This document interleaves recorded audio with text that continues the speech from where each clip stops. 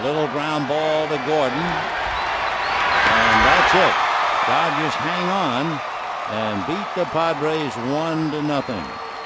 And Matt Kemp shakes them up in more ways than one.